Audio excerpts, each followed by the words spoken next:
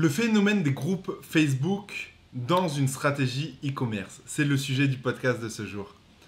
Salut à toi et bienvenue sur ma chaîne YouTube. Je vais vous parler aujourd'hui de groupes Facebook et euh, bah, du phénomène que je vois depuis, euh, quelques temps. Euh, je vois tout le temps le même phénomène et ça me fait...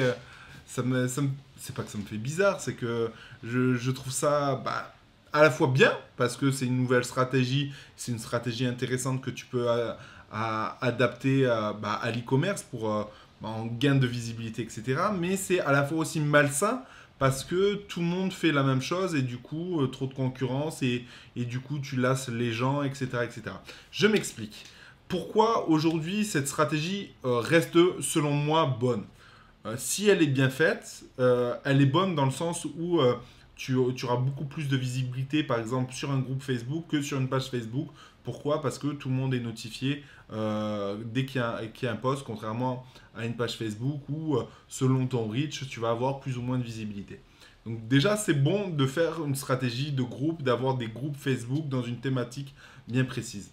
Là où c'est malsain et là où c'est dangereux, euh, et il faut bien que vous le compreniez, parce qu'à un moment donné, euh, si vous, vous, ne pensez pas à ça, si vous voyez l'appât du gain parce qu'on vous dit que c'est facile, c'est facile, c'est facile, euh, dites-vous une chose, c'est que c'est facile quand on commence, mais quand tout le monde fait la même chose, ben, ça va fatiguer votre audience. Demain, je m'explique. Demain, vous êtes dans la thématique du web marketing ou la thématique du chat. Euh, vous, êtes, vous avez des groupes de chats, etc. etc.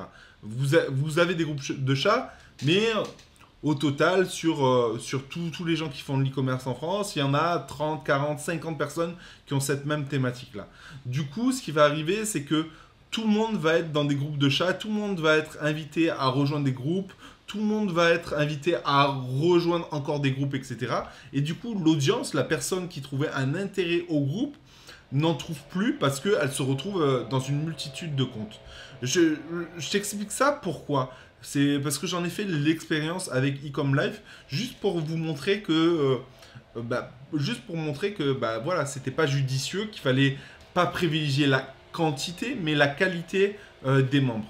L'idée, c'est que bah, dans Ecom Life, j'ai mis, je, je mets que les gens qui sont intéressés par cette aventure à rejoindre le groupe. Donc je, leur mets plusieurs questions où j'aurais pu leur demander le mail, mais je ne l'ai pas fait. Mais je leur je leur euh, demande des questions pour connaître leur niveau, pour savoir s'ils sont passés à l'action ou pas. Et euh, à un moment donné, dans mon groupe, je leur ai demandé d'inviter d'autres amis à eux, etc., à rejoindre le groupe. Et, euh, et on s'est aperçu que les gens qui ont été invités, machin, bah, ils n'étaient pas demandeurs. Ils n'étaient pas demandeurs et du coup, c'était négatif. C'était négatif et du coup, bah voilà, ils ont eu une mauvaise expérience sur Facebook avec cette histoire de groupe. Tout ça pour vous dire que si demain tu fais un, groupe dans la thématique du chat ou de, dans, dans, ton business, par exemple dans la thématique euh, de la santé et du bien-être, fais attention de ne pas inviter trop de personnes. Et, il faut faire attention de leur montrer l'intérêt de venir dans ce groupe. Il faut les inviter, il faut leur dire, tiens, il y a un super groupe, il faut, etc., etc. Venez rejoindre. C'est mieux de les inciter à rejoindre un groupe que les forcer à être dans le groupe. Donc c'est vraiment vraiment important bah, d'en parler parce que je vois beaucoup de web marketeurs. Après, c'est pas mal, hein. j'ai rien contre vous les rouillas euh, par rapport à ça. Encore une fois, c'est pas mal du tout euh, de, parler de, cette stratégie. Elle est bonne, etc.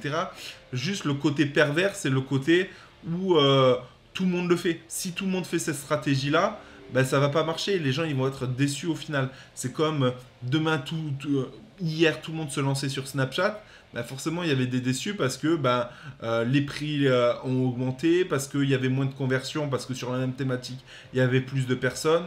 Euh, pareil avant sur Instagram. Et dans, chaque nouveau levier de visibilité, bah, il y aura toujours la, même problématique. C'est qu'il ne faut pas se lancer comme tout le monde, il ne faut pas être dans la grosse vague, parce que dans la grosse vague, vous risquez de, bah, d'y glisser un peu d'oseille. Donc, euh, est-ce que c'est une stratégie à mettre en place La réponse est oui. Mais j'ai envie de vous dire, attendez que la grosse vague des gens qui font des groupes euh, disparaisse pour ainsi euh, le faire, ou sinon vous le faites, mais en mode qualitatif. L'important, c'est la conversion. L'important, c'est que les gens du groupe vous kiffent. Euh, c'est pas, c'est pas de, de, monter une grosse communauté et qu'au final, euh, ils vous kiffent pas. Voilà. Donc ça, c'est super, super important pour la conversion. Donc la stratégie, elle est bonne, euh, mais euh, il faut, pour la mise en application, je vous conseille d'attendre d'une part, et de deux, ne privilégiez pas la quantité, mais la qualité. Sur ce, je vous dis ciao dans une prochaine vidéo.